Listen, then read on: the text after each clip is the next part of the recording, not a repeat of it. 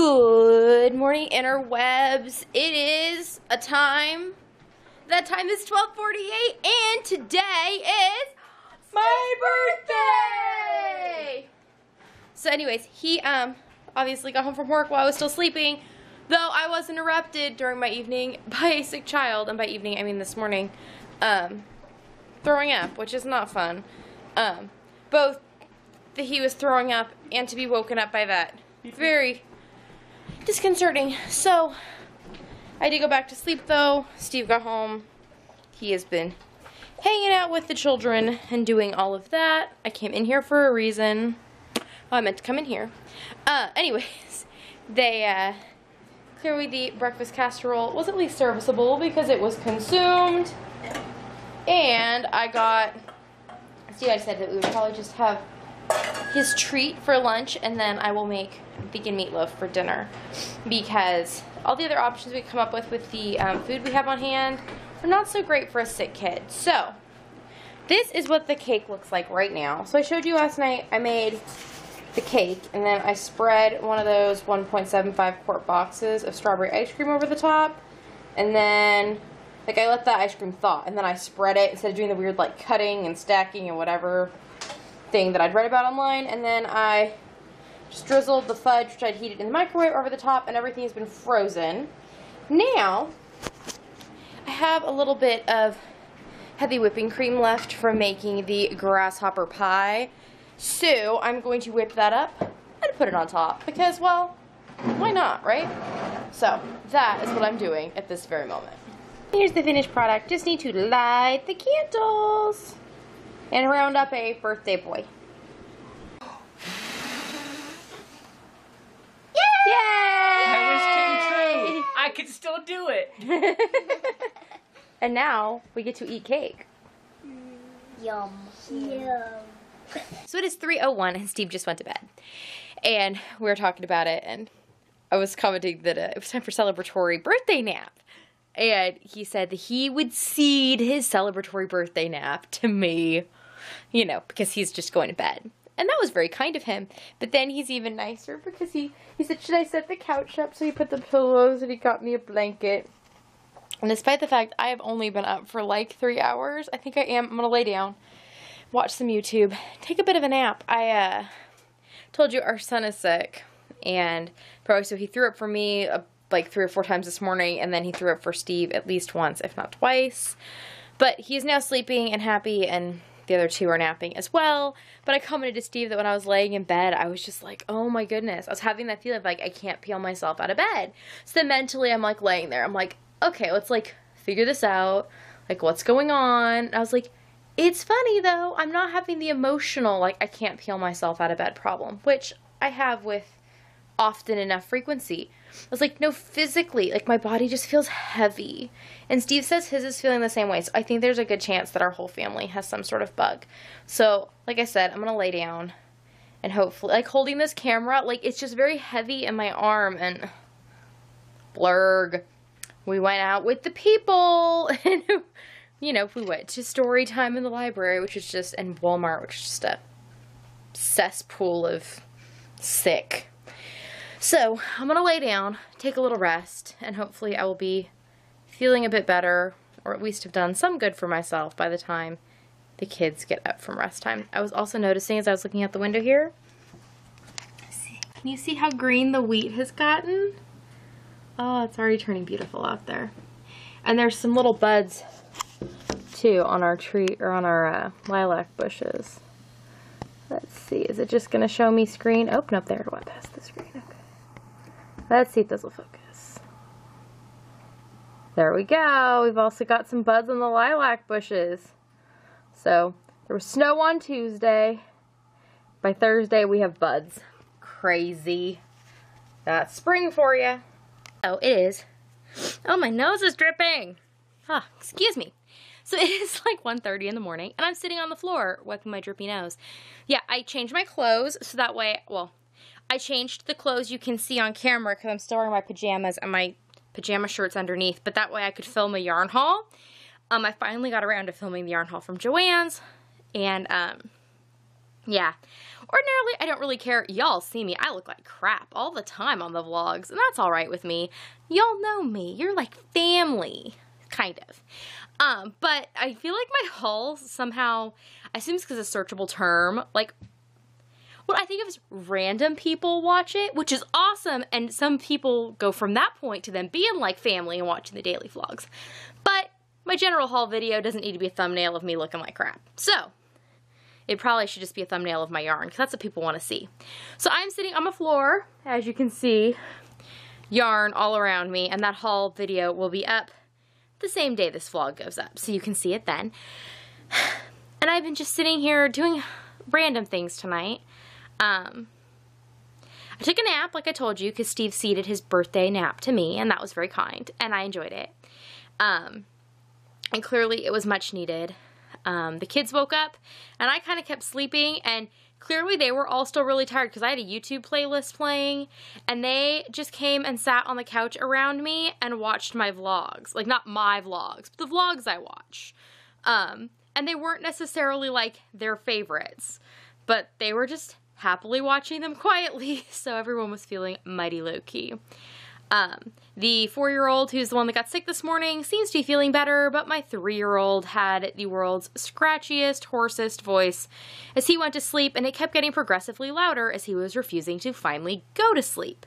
So, we'll see how that all plays out in the morning. Um, but I've just been sitting here, I've been trying to get motivated to work on work. Like, I have some designs I've done, but I'm very, very discouraged right now. And I was debating whether I should talk about it or not. But I'm going to guess that the people involved don't watch anyways, and if they do, it's probably not terrible for them to know I'm discouraged. And I also was thinking about, like, why do I vlog? Well, it's kind of like free therapy. It's a cathartic experience. Tell y'all how I feel. You listen or don't, but that part isn't so important to me. It's more the saying it all out loud. So then I would just talk about it because it's not like, I mean, it's not offensive or anything. It's just kind of what's going on in my head.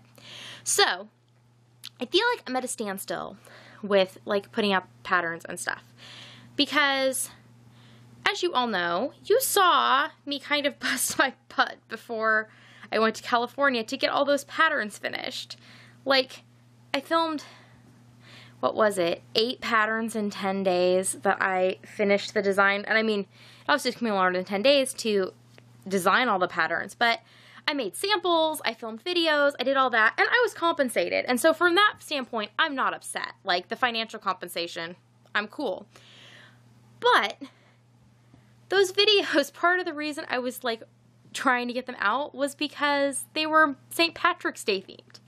And yes, rainbow items are kind of a general theme, especially, goodness, living here in Kansas, rainbows and sunflowers are like year-round staples here in the land of Oz. So, that is um, not a problem. But there were St. Patrick's items, which have, the patterns have not gone out. So nobody has seen them. And St. Patrick's Day is tomorrow, or today when you're watching this, and they're still sitting on a computer somewhere which is only really frustrating because I put a lot of time and energy into them and having them done on time to have them not released in what seems like on time to me. So that's difficult. Well, and what's more difficult is right now I have a batch of what are essentially spring leaning toward Easter patterns that I have done the design samples for and I have the things for. And I just need to finish Obviously I need to film the tutorials, but some of them will be fairly brief. And I need to finish up the formatting. But like, Easter's in a month, which is still plenty of crafting time and like the perfect time to post these things. But I know that even if I stretch myself to get it done and focus on that, they're not going to go up in time for Easter. So I'm just, I don't know. I don't know what to do. And it's very frustrating, and it's really not helping to motivate me because I'm clearly motivated by a deadline. Like, panic is my best motivator, which is kind of funny because anxiety is like my worst thing for motivation, but panic and anxiety are apparently separate things in this instance. But, like, yeah, I work well up to a deadline. Mostly so I can procrastinate until we're just about there and then I can do the work. But like I don't really have a deadline doing this stuff. It's all very freeform, which is kind of cool.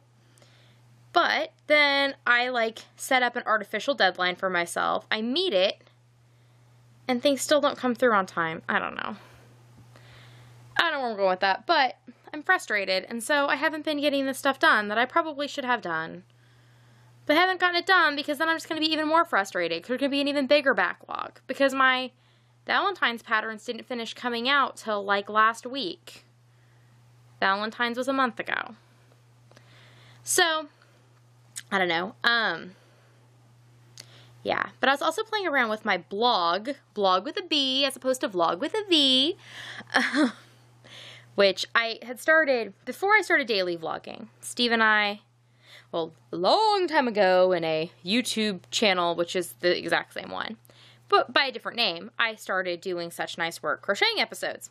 And then I decided I wanted to change up my format after I quit working at my other jobs in town and that I wanted to do like daily posting to YouTube or several times a week with different topics.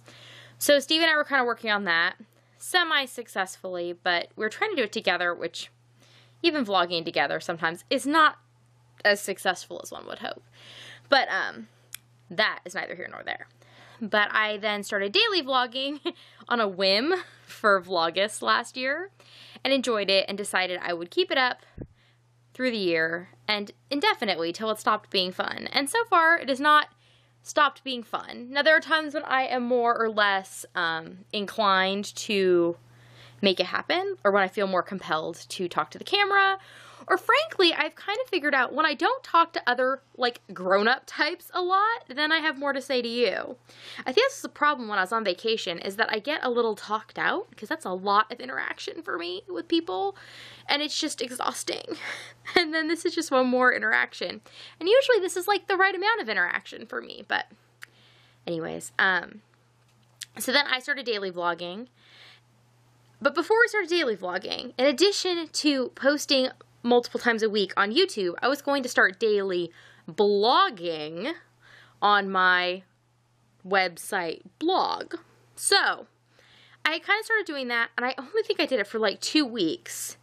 And it was going all right, but then daily vlogging started, and it was even better. So, but I didn't have time to do all of it. So, I just kept with the daily vlogging and dropped blogging at all. But I was thinking about a lot on the drive back and forth for our vacation that I kind of miss it and I kind of would like to do some more of it. And there's a lot of things I talk about on here that I have more to say about, especially like after I'll mention something in passing, then I'll either think more usually about like the emotional and like the feelings stuff and also about the crafty stuff. Um but I will then have more to say about it, or things where it would be useful to have references. Like if I'm telling you about a book or an idea, will it be useful if I could like put a picture of that book or link you to something else about the topic? I don't know. So I've been considering doing a little more blogging, um, just as a thing. And so I was playing with the blog tonight, and I figured out how to link my YouTube videos to it, which I've been having issues doing. I don't know why, because it was stupid easy, which just made me feel really stupid because that's what stupid easy things do. They make you feel stupid. Um, so now my uh, blog has all the videos have been linked that had not been there before. And I'm thinking I might start trying to write some things for it because I went back and I was rereading the posts because in my head I had just kind of decided that the posts were terrible anyways, so whatever. Then I kind of read them and I kind of liked them. So, I don't know. That might be a thing. Haven't decided if it's a thing yet. It's thing adjacent right now. So, the cats are just walking around me in circles. It's silly. But anyways, I need to go and put this yarn away and probably work on some yarny things for a few more hours here. But I think I will let you go now so I can finish putting the vlog together and get it uploaded so that you will see it at noon tomorrow, whether I am awake or not. And I will see you tomorrow. Nighty night!